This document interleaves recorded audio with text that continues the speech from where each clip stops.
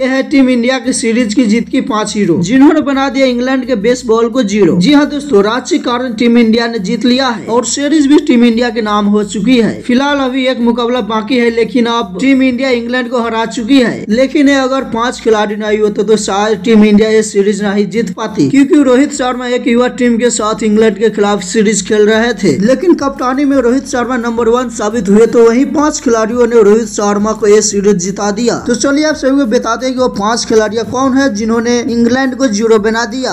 और सबसे पहले हीरो का नाम आता है पी जायसवाल। क्योंकि जायसवाल ना होते तो टीम इंडिया सीरीज़ पे कब्जा नहीं कर पाती। और एस जायसवाल इस सीरीज़ में अभी तक चार मैच की आठ पारियों में छह से पचपन रन बना दी है। इस दौरान भले से दो हाफ़ शतक और दो सेंचुरी निकाली है। वहीं उनका सर्वाधिक दो सौ चौदह का रहा है। पी जायसवाल इस सीरीज़ में दो डबल सेंचुरी भी लगाए हैं। अगर पी जायसवाल का बाला बेस्ट बॉल के खिलाफ नहीं चलता तो शायद इस मैच का नतीजा कुछ और ही होता। दूसरे नंबर पर आता है सुमन गिल। सुमन गिल को तीन नंबर पर काफ़ी समय से कोसा जा रहा था। ये कहा जा रहा था कि नंबर तीन पे फ्लॉप है, लेकिन सुमन गिल ने इंग्लैंड के खिलाफ अभी तक हुए चार मैच के ही आठ पारियों में तीन सौ बयालीस रन बना दी जिसमें एक शतक और दो हाफ़ सेंचुरी शामिल है। इसके अलावा सुमन गिल का सर्वाधिक एक से चार रन रहा है। हमारा हीरो नंबर तीन है जसप्रीत बुमराह। भले ही चौथा टेस्ट मैच यानी रांची के रन में जसप्रीत बुमराह नहीं थे, लेकिन उन्होंने तीन मैच में सत्रह विकेटें अपने नाम की है। औसत उनका इस दौरान तेरह पॉइंट चौसठ वही सर्वाधिक छह विकेट जसप्रीत बुमराह की गेंदबाजी के आगे